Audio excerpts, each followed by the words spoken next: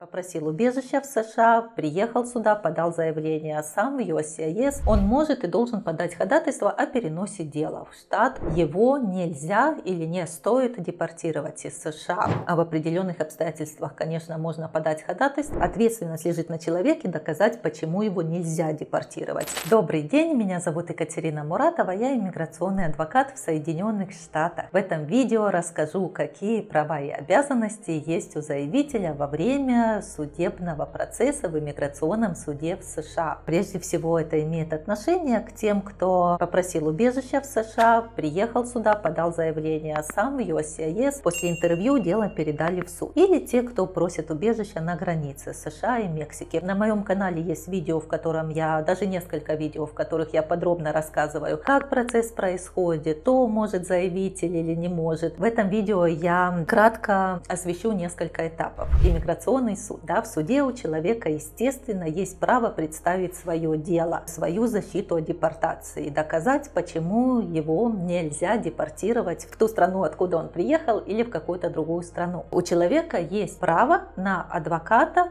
но не за счет правительства США. То есть человек может работать с любым адвокатом по своему усмотрению, если это не накладывает никакую финансовую нагрузку на правительство Соединенных Штатов. Сейчас, во время администрации Байдена, вы знаете, наверное, что она довольно лояльна к иммигрантам и идет обсуждение, стоит ли каким-то категориям лиц в иммиграционном суде предоставлять бесплатного адвоката. Потому что в криминальных судах такая практика есть. Если у человека нет денег на адвоката, и он попал в криминальный процесс, то государство ему предоставляет э, бесплатного защитника. Иммиграционный процесс и практика в иммиграционном суде на данный момент такого не предусматривает. Ну, ведутся разговоры, должно ли это быть. Есть, конечно, мнения и за, и против. Я не буду озвучивать разные точки зрения в этом видео, чтобы не занимать ваше ценное время. Но на данный момент есть право найти адвоката. Если назначается первое судебное заседание, человек туда является сам, без адвоката, судья должен перенести это заседание, чтобы дать возможность этому человеку найти адвоката и уже на следующее заседание явиться со своим защитником. Есть право переносить дело с одного суда в другой в случае переезда. Если человек вначале жил в одном штате, его дело оказалось в иммиграционном суде, находящемся в том штате, впоследствии этот человек переезжает в другой штат, он может и должен подать ходатайство о переносе дела в штат по месту его жительства. Есть право просить переноса судебных заседаний если дополнительное время требуется для сбора доказательств или, опять же, найти того же адвоката и установить стратегию защиты в иммиграционном суде. Обязанности. Ответственность лежит на заявителе следить за иммиграционным процессом, за всеми сроками в иммиграционном суде, ничего не пропускать, не только судебные слушания, но и также сроки подачи каких-то определенных документов. Эти сроки могут быть установлены как судьей, так, если судья не установил, установил какие-то определенные сроки, то мы, адвокаты, следуем практическому пособию, которое касается иммиграционного суда. Там прописаны все сроки, когда что должно быть подано. Это ответственность на заявителя. Если он пропустил срок, потому что он не знал, то это не является каким-то оправданием. Защита, предоставить доказательства, почему человека нельзя депортировать из США, тоже лежит на заявителе. То есть это не задача правительства США доказать, почему его надо депортировать, ответственность лежит на человеке доказать, почему его нельзя депортировать. И если он определенную планку доказательной базы не достиг, то, соответственно, решение будет против него. Следующее про сроки. Еще хочу заметить, почему очень важно за ними следить. Если назначено судебное заседание, заявитель на него не явился, он был уведомлен. Уведомления проходят по почте, по домашнему адресу, который заявитель указал и подал в суд. Если он переезжает, это его ответственность своевременно своевременно менять адрес. Если в суде есть адрес, у них есть доказательства, что повестка была послана по тому адресу, человек не получил или получил, но не явился в суд, судебное заседание будет проведено без него, и это будет депортационный ордер. Почему? Потому что, как я сказала, ответственность представить свое дело на заявителя. Если он не явился, никто не будет рассматривать, какую доказательную базу он мог до этого предоставить. Соответственно, это называется слушание in absentia в отсутствии заявителя, в результате чего появляются депортационные ордера. А в определенных обстоятельствах, конечно, можно подать ходатайство, чтобы дело открыли и пересмотрели. В случае, конечно, если есть экстраординарные обстоятельства, почему человек не смог явиться в суд, но эти исключения очень-очень узкие. Это вкратце права и обязанности заявителя, кто оказывается в иммиграционном суде в США. Всем желаю удачи. Если будут вопросы, записывайтесь на консультацию.